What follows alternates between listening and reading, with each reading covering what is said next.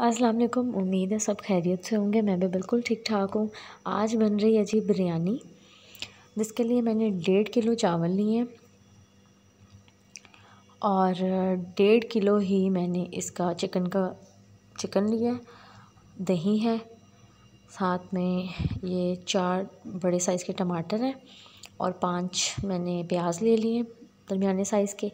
ये बिरयानी मसाला है नेशनल वालों का और ये लाल मिर्च है, नमक है हुई लाल मिर्च और धनिया। ये जी कड़ी पत्ता है, लौंग और दालचीनी और ये गरम मसाला है साबुत। हरी मिर्चें, लीमू और ये फ़ूड कलर जी, ये मैंने पानी रखा है चावलों के लिए, चावल बॉईल करने हैं हमने, क्योंकि हमने तहें लगानी है। तो इसमें मैंने नमक डाला है, हसब ज़रूरत, और इसमें मैं दालचीनी डालूँगी, और तकरीबन वन टेबल स्पून में इसमें कुकिंग ऑयल ऐड करूँगी। कुकिंग ऑयल हम इसलिए ऐड करते हैं ताकि आपके जो चावल हैं वो आपस में जुड़े ना।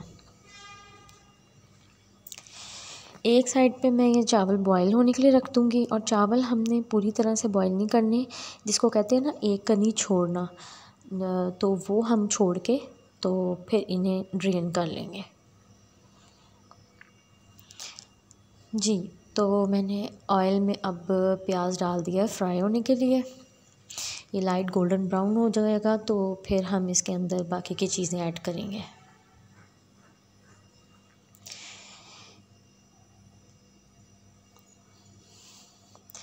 आप सब सुनाएँ, आप सबका क्या हाल चाल है, क्या कर रहे हैं? और आपको मेरी वीडियोस कैसी लगती हैं, कमेंट्स में बताया करें। जी तो प्याज अब सुनहरे रंग का हो गया है, अब इसमें चिकन ऐड कर रहे हैं। फिर हमने इसमें तमाम साबुत मसाले ऐड कर दिए हल्का सा इसको जो है वो गोल्डन फ्राई करने के बाद हमने इसमें टमाटर ऐड कर दिए उसके बाद जनाब हमने ये तमाम मसाले जितने भी थे वो ऐड करने हैं। और फिर हम इसकी भुनाई करने के बाद थोड़ा सा भून के ना इसको तो इसके अंदर हमने थ्री टेबल स्पून दही ऐड किया। जी, दही ऐड करने के बाद थोड़ा सा पानी डाला है और इसे थोड़ा सा पकने के लिए रख दिया मैंने, जब तक चिकन गल जाएगा। ये जनाब अब मैं दही लगाना शुरू कर रही हूँ। पहले आपने थोड़ा सा मसाला डालना है।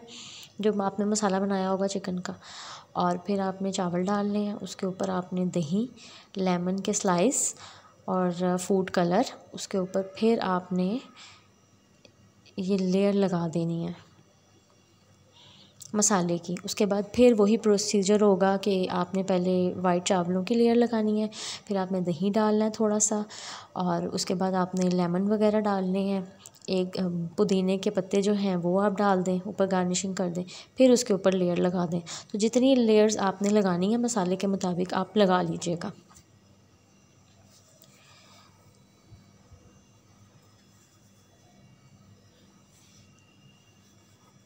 जी, ये देखें जी, इस तरीके से आपने लेयर्स इसकी तहें लगाते जाना है। कुछ भी कोई इतना बड़ा काम नहीं है बिरयानी बनाने में, जैसे आप मसाला तैयार करते हैं, वैसे ही आपने मसाला तैयार करना है, लेकिन बिरयानी का मसाला जो है वो ज़रा ज़्यादा तैयार होता है। टमाटर और प्याज ज़्यादा डलते हैं इसमें, क्योंकि हमने तही लगानी होती हैं, और एक एक कनी हमने छोड़ के चावल ड्रेन किए हुए थे, वही चावल हैं, उनको हमने तहें अच्छी तरीके से लगा देनी है। तहें लगाने के बाद हमने जी दम पे रख देना है इसको। ये देखें जी, अच्छे तरीके से तहें लगा देनी है मसाला। और सबसे नीचे वाली जो तय होगी, उसके अंदर बोटियाँ आप नहीं डालेंगे, आप उसमें मसाला डालेंगे। बाकी तहों में आप डाल सकते हैं बोटियाँ वगैरह ना। और दही थोड़ा सा वन टेबल स्पून आपने डालना है हर तय में। और साथ में आपने लेमन स्लाइसेस रख देने हैं। पुदीने के थोड़े से पत्ते डाल देने हैं और फ़ूड कलर डालना है आपने हर तय में। इस तरीके से आपने तय लगाते जानी है। नमक आपने अपने हसब ज़रूरत रखना है, जब आपने चावल बॉईल करने हैं तब भी और मसाले में भी।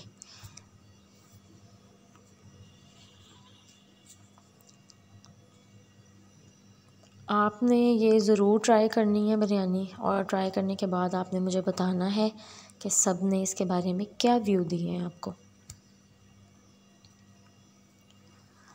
आज जी, ये रेसिपी थी और थोड़ी झटपट तैयार की है मैंने क्योंकि आज शादी अटेंड करने जाना था फ्रेंड की। तो जल्दी जल्दी मैं बस, जल्दी से रिकॉर्डिंग की है। और ये जी, दम दे दिया मैंने। दम उठाने के बाद जनाब देखें ये चावल, माशाल्लाह। बहुत प्यारे थे, बहुत लजीज थे। खुशबू भी ज़बरदस्त आ रही थी, लज्जत भी थी। और आप लोगों ने ज़रूर मुझे ट्राई करके तो ये आपने बताना है। मिलते हैं अगली रेसिपी में। तब तक के लिए अल्लाह हाफिज़।